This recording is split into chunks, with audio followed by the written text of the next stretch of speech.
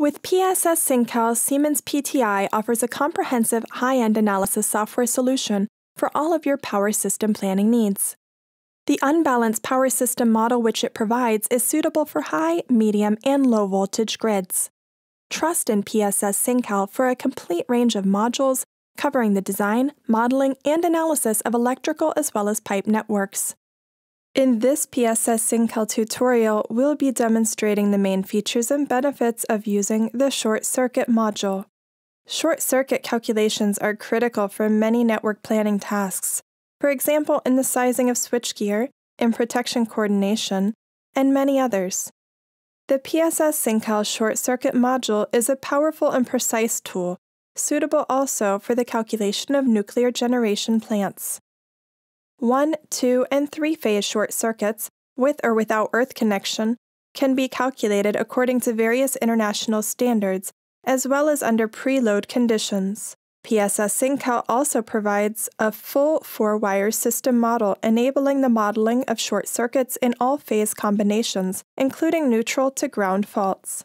Additionally, in the module multiple faults, PSS SINCAL is able to calculate any combination of faults. The general short circuit settings can now be found under Calculate Settings, Short Circuit. The available short circuit calculation standards are under Short Circuit Method. Depending on which standard is selected, additional settings for the calculation according to that standard can be entered.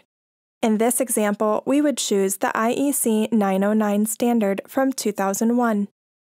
If an initial load is considered, PSS SINCAL will first perform a load flow calculation considering all network parameters, then place a voltage source at the fault location using calculated voltage according to the IEC standard. Short circuit data type can be used to select between standard user import, minimum, or a maximum short circuit. For circuits which cannot be modeled by symmetrical components, a simulation based on phase values is available. In this case, an adjusted short circuit calculation can also be performed. Include motors in the user-defined short circuit calculation by selecting Join Motors. For minimum short circuit calculations, if the temperature used in the calculation of line resistance is different from values used in the standard, these can be given here. For the selection of calculation procedure of peak short circuit current, tripping current calculation type selection.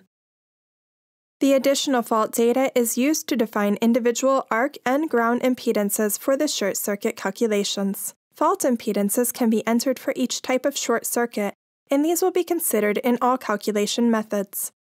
If four wire systems are considered, an additional ground impedance can be included for phase value calculations.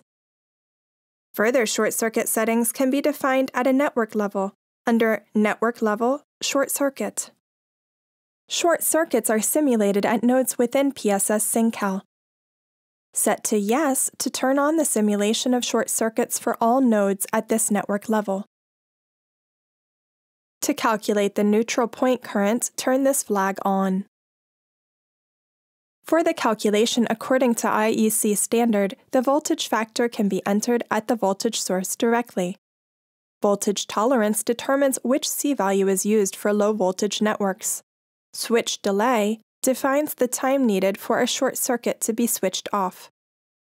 Maximum admissible surge current and maximum admissible breaking current evaluate the results of the calculations. Additional fault data can also be entered for a network level. If defined, these will take precedence over those defined in the calculation settings. Data for the calculation of short circuits can also be entered for individual network elements. Depending on the selection of maximum, minimum, or standard short circuits, the corresponding data will be used for the infeeder, for transformers, or for lines. A short circuit can now be performed at a node. Right-click on a node and choose Calculation at Node, Short Circuit. The type of fault can be selected. We'll simulate a three-phase short circuit. Results are displayed on the network editor. The size of the short circuit currents flowing throughout the network are displayed in the branches and at the nodes. Detailed results are now provided according to IEC standards to support your network design. For calculations according to another standard, results will be displayed according to that standard. Detailed results are available for branches or for nodes. The initial symmetrical short circuit current is used for the thermal sizing of equipment, earthing, interference, and EMC. The peak short circuit current is used for sizing the mechanical withstand capability of equipment.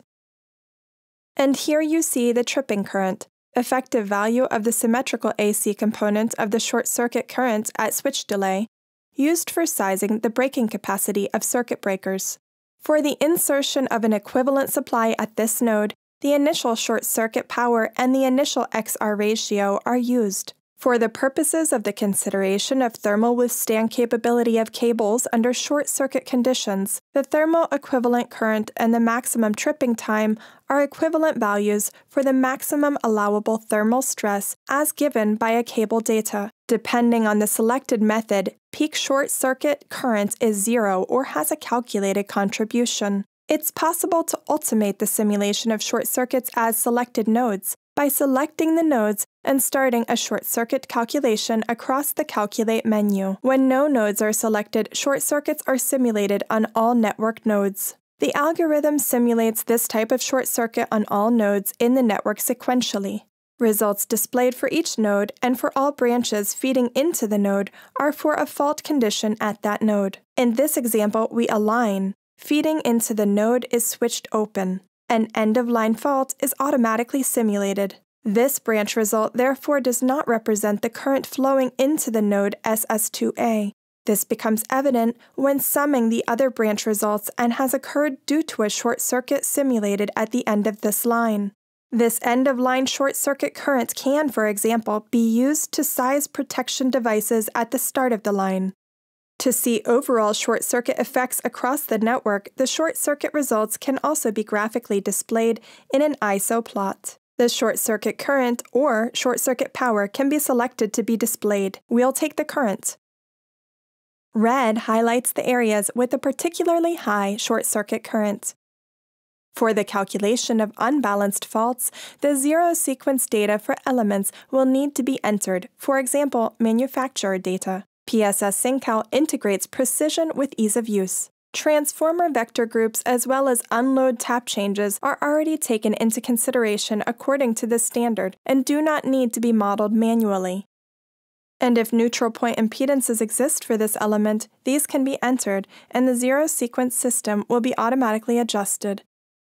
In the case of transformers, taking the vector group into consideration. For four wire systems, the grounding of transformers, generators, and evenness of nodes or loads needs to be looked at. Here, we'll perform a one-phase ground fault. As you can see, detailed results are presented for each of the lines in the line data representation, as well as for each of the phases in the symmetrical component representation of the network.